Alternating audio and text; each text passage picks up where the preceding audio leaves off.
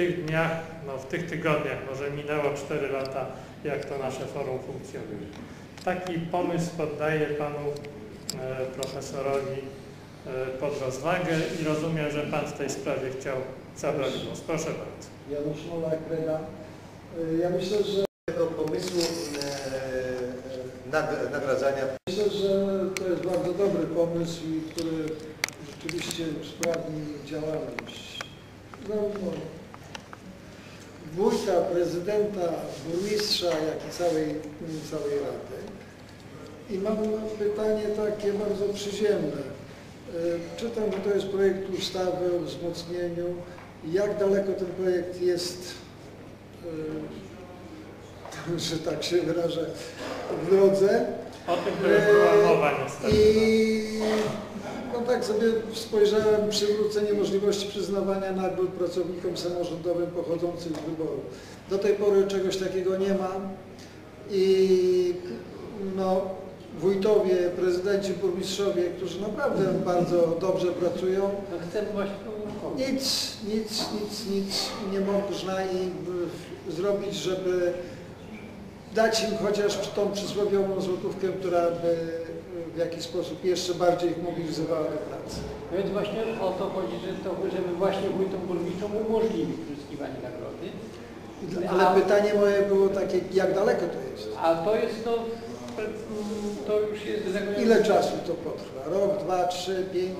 Nie, no ja, ja sądzę, że powinno być w roku 2012, powinno wejść w życie, bo to prezydent ma właśnie w ciągu, no gdzieś na przełomie stycznia, lutego chce skierować do parlamentu, do grupy. Czyli to już jest bliziutko, bardzo dobrze. No to już za długo i tak trwa, ale okazuje się, że to wcale nie jest tak łatwo Dobrze. uzyskać ten konsensus. Czy, czy można uzyskać opinię pana profesora na temat tego mojego pomysłu e, poszukiwania e, możliwości kompromisu między skonfliktowanymi stronami, stronami samorządu? To znaczy, Panie Przewodniczący, Pan chce ustawić bat, kijek nad nimi, żeby ich po prostu zmusić.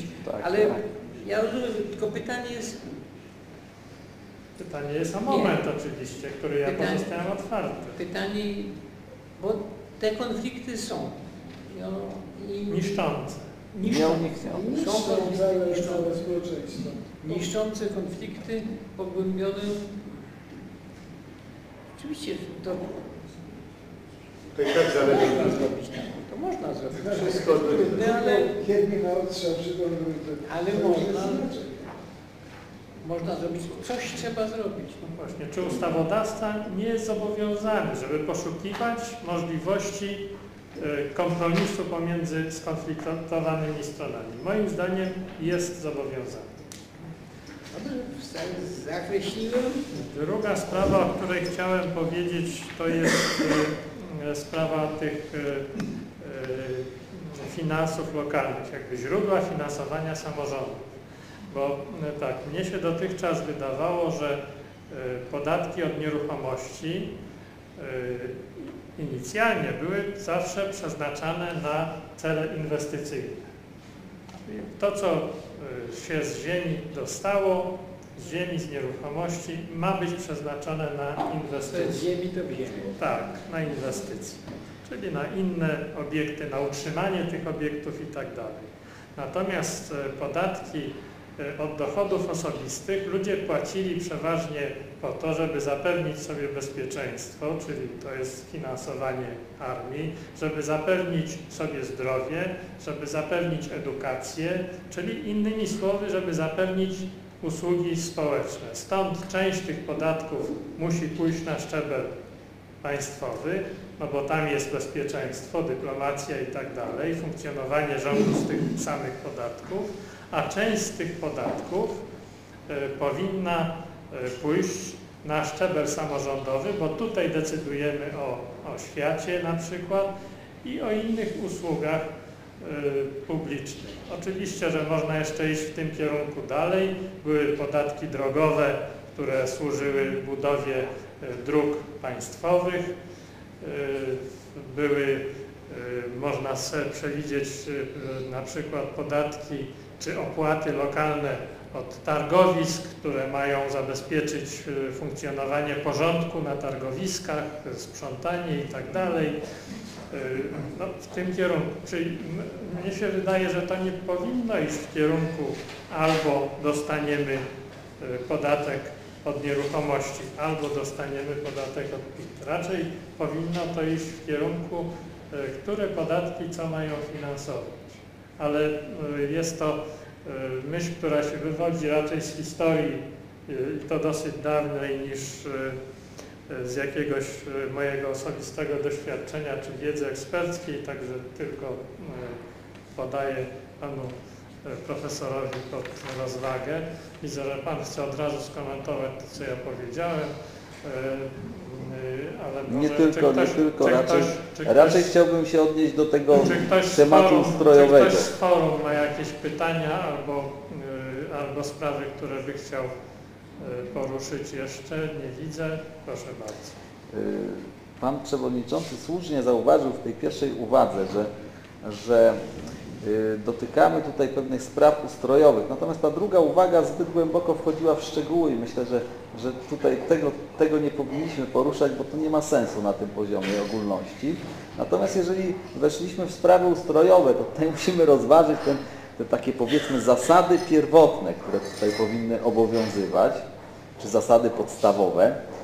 Y, Czyli czy ten system, który funkcjonuje w naszym państwie, ma wzmacniać państwo narodowe, czy ma wzmacniać Unię Europejską?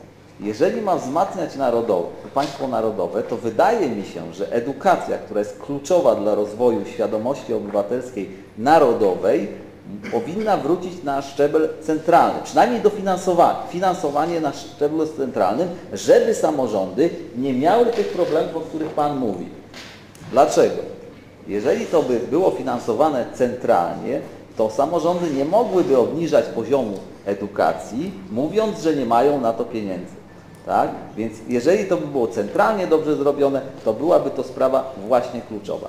Wracając do tematu tego nieszczęsnego wójta i tych konfliktów, z których słyniemy na świecie, to uważam, że, że no pewnych rzeczy socjologicznych nie zmienimy szybko. Możemy zmienić pewne rzeczy systemowo.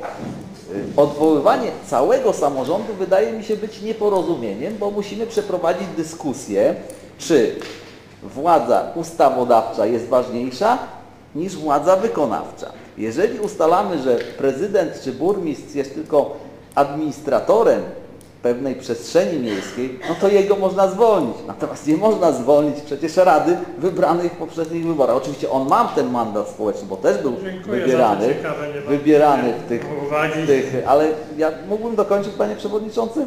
No, Bo to są ważne kwestie, prosił- strategiczne. Prosiłbym o pytania do y, Nie, no właśnie, właśnie to jest pewna uwaga. Natomiast, Do y, pytania dojdziemy. Ja bym chciał wiedzieć, czy, czy Pan Profesor się y, zgadza z tym, że, że edukacja jest kluczowa i czy rola tej Rady y, powinna być większa i kontrolna tak, nad tym, tym administratorem, którym jest burmistrz. Oczywiście do niego należą sprawy kluczowe, organizacyjne. Jeżeli on jest dobrym administratorem, to miasto rozwija się dobrze. I tu dochodzimy do kwestii partnerstwa prywatno-publicznego. Uważam, że jeżeli ktoś boi się tego partnerstwa prywatno-publicznego, to w żadnym wypadku nie powinien się pchać do samorządu. Dziękuję. Ja, ja się z Panem, nawiązując, fundamentalnie nie zgadzam Tak jak ja. w sprawie przeciwstawiania interesów państwa i interesów Unii Europejskiej. No, razem lepiej. To nie jest tak, bo to jest tak się trochę toczy w tej chwili dyskusja w prasie pod hasłem ochrony zagrożenia dla naszej suwerenności, wejścia do Unii i tak dalej. Uważam, że to jest zdecydowanie Złe podejście. sfałszowane. My suwerenności rozumiamy w układzie XIX-wiecznego państwa. Nie. pomysłu e, nad, nagradzania mm, e, pracowników samorządowych, e, którzy e, zostali wybrani. Powiem, że mam inne zdanie. Mam przeciwne zdanie. Uważam, że nie powinno być e, tych nagród. Z doświadczenia także własnego mówię. Byłem burmistrzem i byłem przeciwny temu, żeby na, na, nagrody dostawać. Pamiętam, że jedną nagrodę e, na siłę mi prawda, wciśnięto, to dałem na, e, dzieciakom prawda, na, na zakończenie roku szkolnego najlepszym uczniom. Dlaczego, panie profesorze? Uważam, że uposażenia e, prezydentów, trudno mi powiedzieć, bo nie, nie, nigdy nie, e, nad tym nie głosowałem, ale burmistrzów są e, naprawdę bardzo dobre. E, Wtedy, kiedy dobrze pracuje, e, często Rada także podejmowała decyzję, żeby e, to, e, to, to, to, to uposażenie zwiększyć. E, Szczerze powiem, zawsze, zawsze byłem, e, wstrzymywałem się, a wręcz mówiłem, że jestem przeciwny, dlatego że w porównaniu do zarobków e, e, społeczeństwa w- tam, gdzie, gdzie działa e, burmistrz prawda, czy wójt, e, i tak te, te, te, te, te, te, te, te pensje są dużo, dużo wyższe. E, Czy nagroda? Jeżeli nagroda, to wtedy ewentualnie w jego uposażeniu, uposażeniu e, tym miesięcznym, ale nie e, oddzielny, dlatego że to będzie tylko i wyłącznie konflikty. niepotrzebne. zresztą. Konflikty? Tak, niepotrzebne. To nie Rada ma dawać. A kto? No ktoś musi. W jaki sposób? No właśnie, y, daję, daję prosty przykład. Panu prezydent- prezydentowi nie można dać, bo nikt mu nie da, bo kto jest panem prezydentem, mówię Rzeczpospolitej oczywiście. E, tutaj Rada, bo tylko Rada może dać Prawda. nagrodę. Tak. I, i, I tutaj y, szczerze powiem, jest to niewygodna e, rola i miejsce Rady właśnie, żeby jeszcze dodatkowo wyróżniać.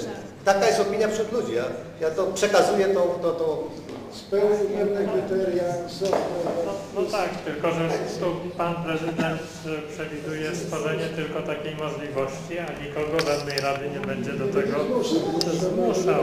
To słuchaj, będą, niektórzy będą na, na, na duże. Y, Natomiast e, wszystkiego. trzeba pamiętać, że rolą nagrody jest nie tylko zwiększenie przychodów prezydenta, ale też jest pewien prestiż.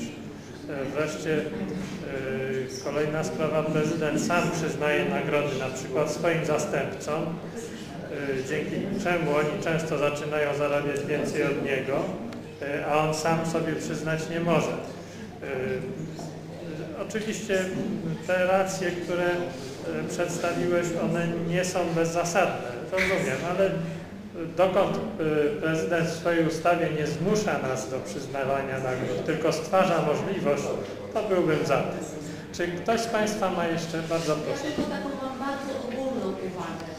Jeżeli te prace będą jeszcze trwały i, i będą analizowane różne przepisy, to moja uwaga taka ogólna jest następująca. Wydaje mi się, że za dużo jest przepisów, które zmuszają jak gdyby wójta, czy, czy wójta, konkretnie wójta do czynności egzekucyjnych. Że jednak egzekucje praw, nakładanie kar w różnym zakresie, ogólnie tak mówię, e, e, nakładania kar, egzekwowania przepisów prawa bardziej powinny być przesunięte na administrację rządową, jak na tą samorządową. Tak mi się wydaje, że, że wójt nie powinien swoich mieszkańców, swoich wyborców karać. Że powinna gmina zaspokajać potrzeby wspólnoty, a nie być Oczywiście. Niech będzie woju, niech wojewoda będzie wojewoda każe. No bardzo proszę na kartce napisać. Musimy zrobić, nie? nie? E, Przesunąć tą egzekucję właśnie na tą administrację rządową. Panie profesorze, pora na podsumowanie. Czy Pan profesor ma jakieś złote myśli dla nas? No, złote myśli, ja nie mam złotych myśli. No, ja pracujemy nad ustawą. Ja chciałbym, żeby to, te zmiany ustawowe były złotą myślą i były pomocą dla państwa. Ale to musi być, więc to jest pierwsza próba prezydenta, prawda? Y, Natomiast y, powtarzam, chcemy podjąć no, wysiłek na rzecz dalszych, żeby te pięć lat prezydenckiej kadencji wykorzystać. W związku z tym i tak, tutaj byśmy bardzo, powtarzam, prośba jest do Państwa o sugestie. Na pewno trzeba pomyśleć o finansach.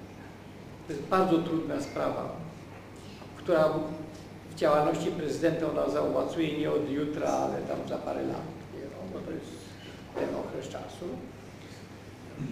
Ale trzeba o tym pomyśleć.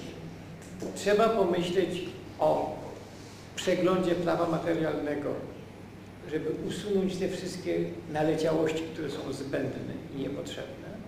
I to bardzo prosimy o pomoc, bo tego jest naprawdę strasznie dużo rozsypane po różnych ustawach i trudno, trudno szukać. Są prace ważne, dotyczące, tu- tutaj była mowa, zastanówmy się jeszcze o metropoliach. Jest, jest sprawa o, o partnerstwie publiczno-prywatnym. Jest kilka tych spraw indywidualnych, które nie tylko z tego morza drobnych poprawek trzeba by wyjąć i trzeba by się zastanowić indywidualnie. Więc tutaj znowu bardzo prosimy o to, bo jesteśmy w fazie w tej chwili myślenia o programie.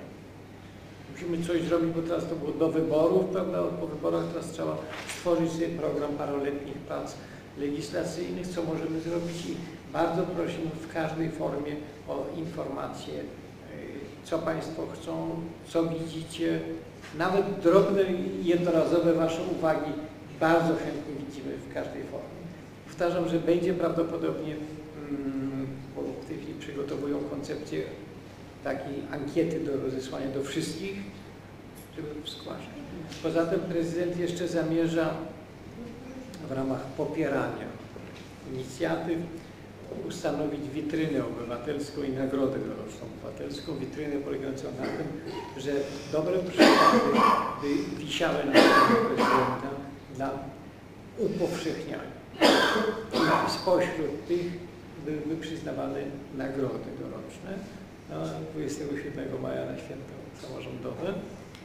W kategoriach w zasadzie w tej chwili wygląda na w trzech, to znaczy jedna to jest gmina najbardziej uspołeczniona, gmina lub powiat, to znaczy wykazująca największym udziałem obywateli w zarządzaniu.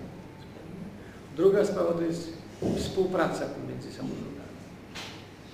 Jest kluczowa sprawa właśnie umieć współdziałać pomiędzy w układach aglomeracyjnych czy w układach powiat, gmina, powiat, jakiś inna współpraca, no a poza tym działania obywatelskie na rzecz rozwoju samorządności. I tu będziemy też taką, taką prawdopodobnie do prezydenta ogłosić o ustaleniu. Natomiast my jako fundacja, zmieniam czapkę na głowie, jako fundacja my doroczne nagrody ustajemy dla działalności obywateli, którzy prowadzący do integracji społeczności lokalnych wokół spraw lokalnej kultury i tradycji. W różnych formach. No i w najbliższym czasie będzie ogłoszona kolejna edycja, to jest nagroda niestety honorowa, Fundacja pieniędzy, ale zawsze honor jest i będziemy w przyszłym roku chcieli dać dla Państwa informacji, jeżeli macie takie rzeczy, które e, zasługiwały na wyróżnienie obywatelskie działalności, z radością. A jeszcze chciałem bardzo podziękować, bo Panie to wszystko piszą, ja piszę, opracujemy, wyślemy Państwu te uwagi mm, co do tego, a ja przekażę w drugą stronę, żeby wykorzystać y, dla ukierunkowywania prac nad naszymi sprawami. Dziękuję bardzo, dziękuję Panie Profesorze. Proszę Państwa, przed przerwą obiadową ja jeszcze dwie sprawy. E, Pan Wiceprzewodniczący Rady Miasta Gdyni Jerzy Miotkę e, chce Państwa e, obdarować wszystkich kalendarzami, kalendarzami gdyńskimi na rok 2012, które jak uważam są bardzo udane, zaraz je przyniesie. Natomiast ja chciałem poprosić wszystkich Państwa o udanie się przed e, przerwą obiadową wspólnie e, pod pomnik, e, który znajduje się e, obok e, Urzędu Miasta. To jest pomnik, który upamiętnia ofiary grudnia 1970 roku. E, Jak Państwo wiecie, E, Jesteśmy właśnie w tym okresie, e, w 70 roku, w dniu 17 grudnia e, w Gdyni wydarzyła się, e, wydarzyła się tragedia. E, Robotnicy stoczniowi wezwani e, do pracy w stoczni rano spotkali się z, tam z gradem kul, które w ich kierunku wysłało wojsko. kilkadziesiąt osób zostało rannych, zabitych. Jest to wydarzenie, które bardzo mocno zaznaczyło się w historii Gdyni.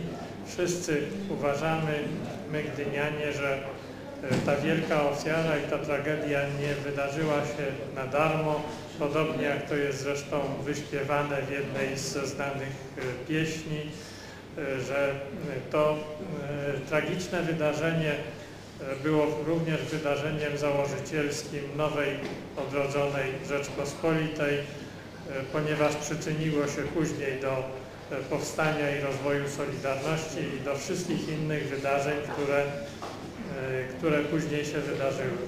Oczywiście one, ono nie jest jedynym, ale jest jednym z tych najważniejszych.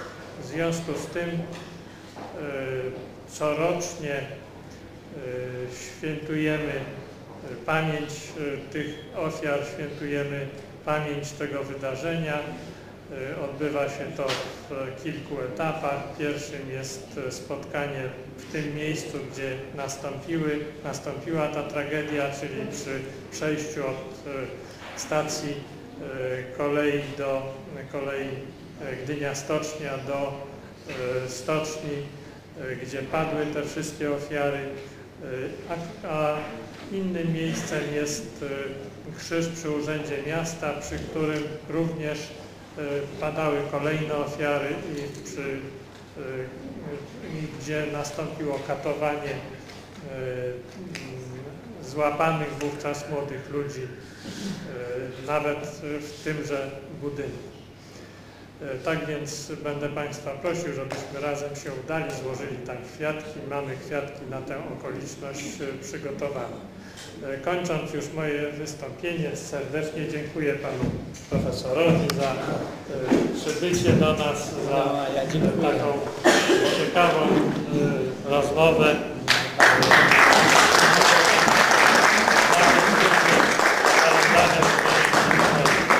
Bardzo dziękuję, bardzo dziękuję Państwu i dziękuję za to, co robicie dla samorządu. To jest najważniejsze. Staramy się, tak jak Pan Profesor. Miło, ale